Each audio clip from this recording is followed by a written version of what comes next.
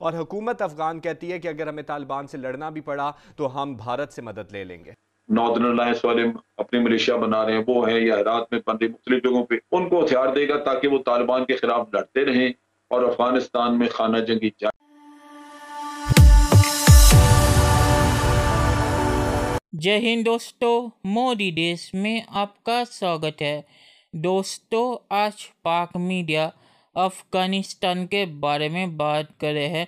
पाक मीडिया कह रहे कैसे तालिबान ने अफ़गानिस्तान के ज़्यादातर इलाके पे कब्ज़ा कर लिया है और अब तालिबान ने बॉर्डर पर भी कब्ज़ा कर लिया है। मतलब कि चीन और पाकिस्तान के बॉर्डर पे जो अफ़गानिस्तान के साथ मिलता है। और पाक मीडिया यहाँ पे बोल रहा है कैसे अफ़गानिस्तान की सरकार ने कहा है कि अगर मदद की ज़रूरत पड़ी तो वो भारतीय आर्मी से मदद लेंगे। उसके बाद पाक मीडिया घबरा गया है। पाक मीडिया कह रहा है कि तालिबान ने जैसे अफ़गानिस्तान पे कब्ज़ा किया, वैसे ही पाकिस्तान को अब कश्मीर पर भी कब्ज़ा कर लेना चाहिए। तो इस वीडियो में पाक मीडिया घबराया हुआ है। दोस्तों, ये वीडियो बहुत ही मज़ेदार है तो इसे पूरा ज़रूर देखिएगा। तो चलिए और इंतज़ार ना करके ये वीडियो देखते हैं। तालिबान जो है उनकी पेशरफ जारी है। चमन के करीब उन्होंने कब्जे में ले लिया पाकिस्तान ने बाब दोस्ती बंद कर दिया और हुकूमत अफगान कहती है कि अगर हमें तालिबान से लड़ना भी पड़ा तो हम भारत से मदद ले लेंगे। देखिए बात यह है कि अफ़गानिस्तान में तालिबान तकरीबन नब्बे परसेंट अफ़गानिस्तान के ऊपर बिल्कुल अपनी फतह के ढंजे जो हैं वो गाड़ चुके हैं। हम्म।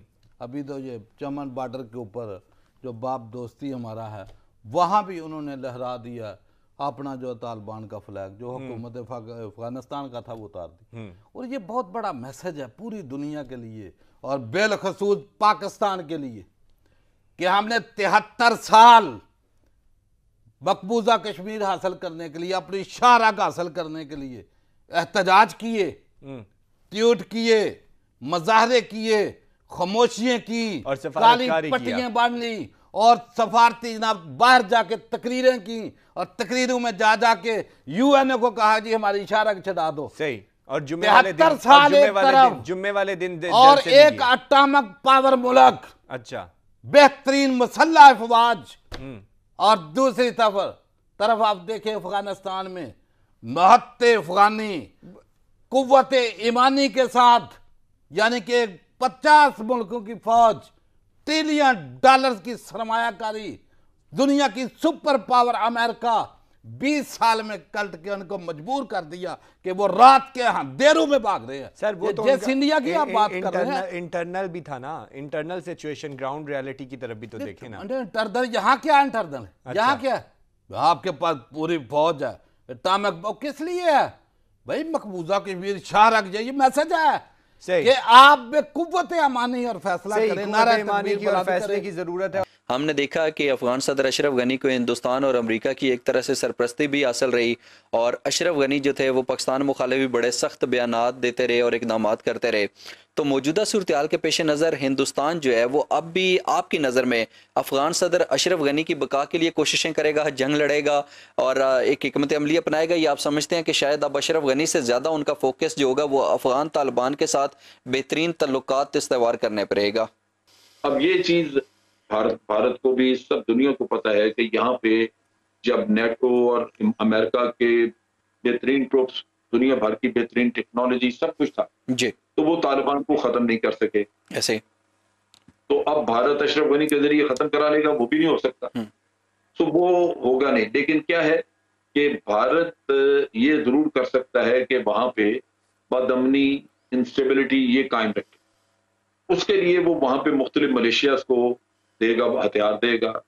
नॉर्दर्न अलायंस वाले अपनी मलेशिया बना रहे हैं, वो हैं या रात में बन रही मुख्तलिफ़ जगहों पर उनको हथियार देगा ताकि वो तालिबान के खिलाफ लड़ते रहें और अफ़गानिस्तान में खाना जंगी जारी रहे। उसमें उसको फ़ायदा ये है कि जब कोई भी हुकूमत वहाँ पे ऐसी नहीं होगी जिसकी रिट पूरे मुल्क पे हो तो फिर ये उस मुल्क के किसी न किसी गोशे में बैठ के पाकिस्तान के खिलाफ काम करते रहे। तो आज इनकी स्ट्रेटजी ये है तो अगर तालिबान को या किसी को भी पूरा इख्तियार नहीं मिलता वहाँ पे अफ़गानिस्तान में हुकूमत करने का पूरे अफ़गानिस्तान पे तो टेररिज्म बढ़ने के चांसेस हैं क्योंकि फिर भारत खुल के वहाँ से काम करे। जब तुर्की बात करता है कि हम ये काबल के एयरपोर्ट का कंट्रोल अपने पास रखेंगे तो अफगान तालिबान कहते हैं कि फिर आप हमारे दुश्मनों की सफों में खड़े होंगे।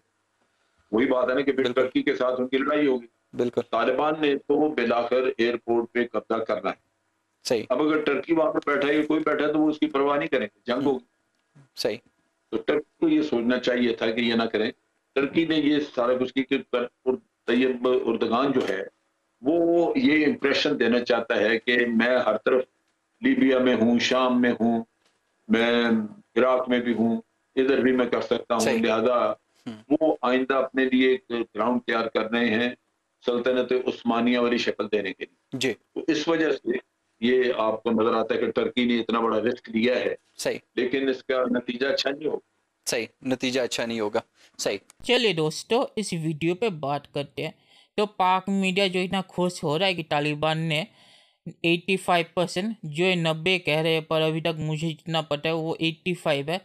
तो 85 परसेंट जगह पे कब्जा कर लिया है अफ़गानिस्तान में।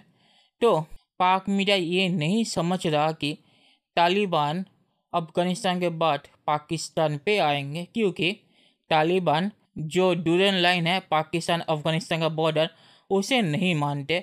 उनका मानना है कि अफ़गानिस्तान का बॉर्डर पेशावर तक जाता है तो ये पाकिस्तान के लिए फ्यूचर में मुसीबत बन जाएगा। अगर अफ़गानिस्तान पे तालिबान का पूरा कब्जा हो गया तो पाकिस्तानी मीडिया जो यहाँ पे खुश हो रहा है, ये खुशी ज़्यादा दिनों तक नहीं टिकेगी। और जहाँ तक पाक मीडिया ने कहा कि अफ़गानिस्तान में जैसे तालिबान ने कब्जा किया है, उसे देख के पाकिस्तान को सबक लेना चाहिए। पाकिस्तान एटमिक ताकत है, पाकिस्तान कश्मीर में भी वो कर सकता है। मतलब कि पाक मीडिया यहाँ पे खुलेआम कह रहा है कि पाक आर्मी को कश्मीर पे कब्जा कर लेना चाहिए, जैसे तालिबान ने अफ़गानिस्तान पे कब्जा किया है। तो इसमें पाक मीडिया गलत है, क्योंकि तालिबान का सामना अफगान आर्मी से है, जिनकी ट्रेनिंग ज़्यादा अच्छी नहीं है। और उनके पास हथियार भी ज़्यादा अच्छे नहीं है। तो पाक आर्मी अगर भारतीय आर्मी का सामना करेगी तो पाक आर्मी का हाल क्या होगा, वो आप सोच ही सकते हैं। भारतीय आर्मी अफगान आर्मी की तरह नहीं है। भारतीय आर्मी के पास एडवांस हथियार और बहुत ही अच्छी ट्रेनिंग है। तो इसीलिए पाक आर्मी भी भूल के भी कश्मीर पर कब्जा करने की सोचेगी भी नहीं। क्योंकि उन्हें पता है, कम से कम पाक मीडिया को पता नहीं होगा कि पाक आर्मी भारतीय आर्मी के सामने टिक नहीं पाएगी। तो इन्होंने जो तुलना की है, अफगान आर्मी और भारतीय आर्मी की, वो पूरा गलत है और तालिबान इसीलिए अफ़गानिस्तान पे कब्ज़ा कर पाए क्योंकि अफ़गान आर्मी इतनी अच्छी तरह से ट्रेन नहीं है और ना ही उनके पास इतने अच्छे हथियार है। और दूसरी वजह ये है कि सारी अफ़गान आर्मी की फोकस अब काबुल पे चली गई है। उनका सारा फोकस काबुल को बचाना है और इसीलिए मुझे लगता है कि तालिबान ने इतनी आसानी से इतनी सारी जगह पे कब्ज़ा कर लिया है। और अफ़गानिस्तान की सरकार ने कहा है कि भारतीय आर्मी से वो टेक्निकल असिस्टेंस लेंगे। मुझे नहीं पता कि भारतीय आर्मी अफ़गानिस्तान में जाएगी या नहीं, पर जितना मैंने सुना है कि अफ़गानिस्तान की सरकार ने सिर्फ़ ये कहा है कि हम भारतीय आर्मी से टेक्निकल असिस्टेंस लेंगे। तो पाक मीडिया की बातें सुनकर अगर पाक आर्मी ने कश्मीर पर कब्जा करने की कोशिश की तो पाक आर्मी का हाल वही होगा जो कारगिल में हुआ था। और पाकिस्तानी जनरल ने जो कहा है कि भारतीय सरकार अफ़गानिस्तान की सरकार की मदद करेगी तालिबान के खिलाफ तो इसमें कोई हैरा ही नहीं होगी कि तालिबान का रवैया क्या है। भारत की तरफ़ ये आप सबको पता होगा। और वैसे भी तालिबान भरोसे लायक नहीं है। और तालिबान पर अगर भारतीय सरकार ने भरोसा किया तो मुझे लगता है कि ये भरोसा ज़्यादा दिनों तक नहीं टिकेगा। क्योंकि आप देख ही सकते कि तालिबान ने शांति का वादा किया था और अभी वो क्या कर रहे हैं। तो इसमें मुझे कोई हैरानी नहीं होगी अगर भारतीय सरकार ने, अफ़गान सरकार की जो अभी है, उनकी मदद की तालिबान के खिलाफ।